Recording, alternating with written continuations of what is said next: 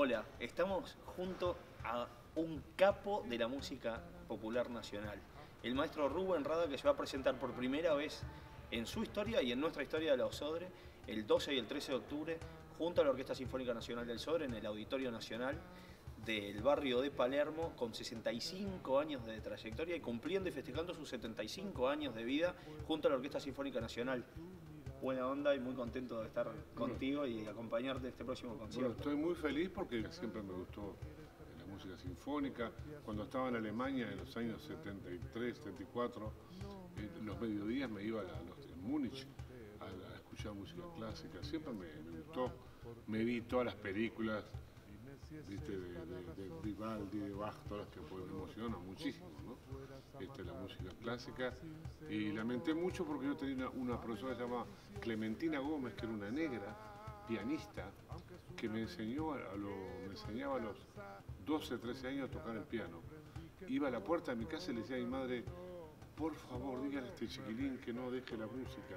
Pues me pasaba las cosas, aprendía enseguida, pero me gustaba más, este, la verdad, me gustaba ir a robar manzana y, jugar al fútbol y hacer toda esa locura que estudiar música. Y pasó el tiempo y nunca estudié música. Es una, gran pena porque podía haber este, dirigido orquesta, podía haber hecho millones de cosas si hubiera estudiado música. Y bueno, para mí es un honor este, tocar con, toda esta gente y que me hayan invitado a hacer este concierto en esta sala maravillosa. Este, lo hablo así normal, pero hay una parte del cuerpo mío que está temblando porque salir adelante ahí con toda esa banda a tocar no, es fácil.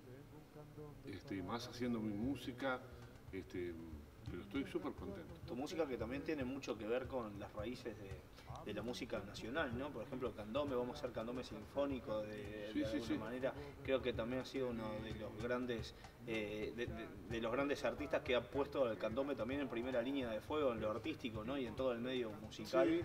de la región y, trascendiendo fronteras. Recién en la puerta me encontré con el, embajador de Francia, que nosotros fuimos este, hace unos años a Toulouse con, la banda a tocar candombe.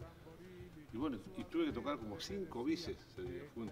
toqué candombe como loco. Es la única música que te preguntan qué es.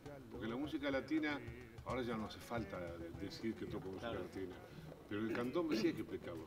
Esos tres tambores, este, chico, piano y repique, ese toque, este, es, no existe en el mundo solamente acá en el Es cierto que además una voz inconfundible, que eso también define a un artista, ¿no?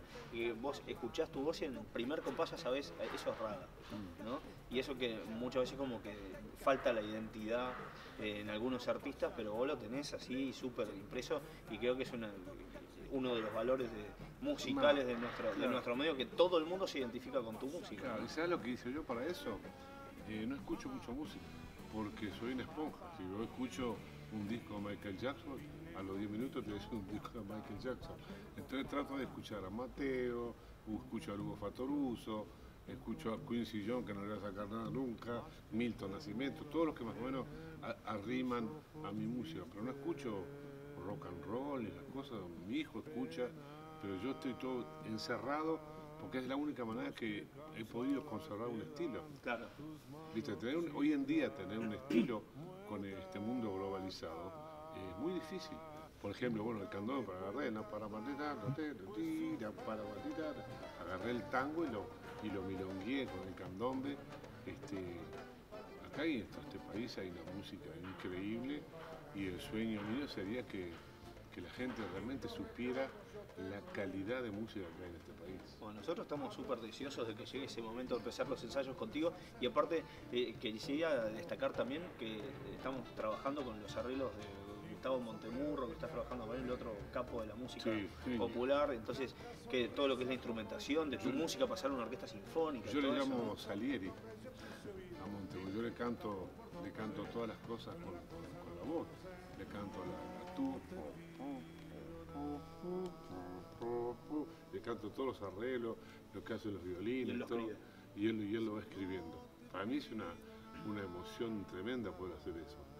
y a veces cuando suena realmente se me cae alguna lagrimita, cuando suenan los violines más que nada, Y sí, bueno, en la orquesta sinfónica, viste que como el 70% de la orquesta se compone de cuerdas frotadas, Claro, ¿no? sí. Y la verdad que a eso le vamos a sacar un montón de provecho para, eh, eh, para tocar tu música. Estamos súper copados con eso. Va a venir aparte un montón de gente, tenemos dos funciones por eso, el 12 y el 13 de octubre.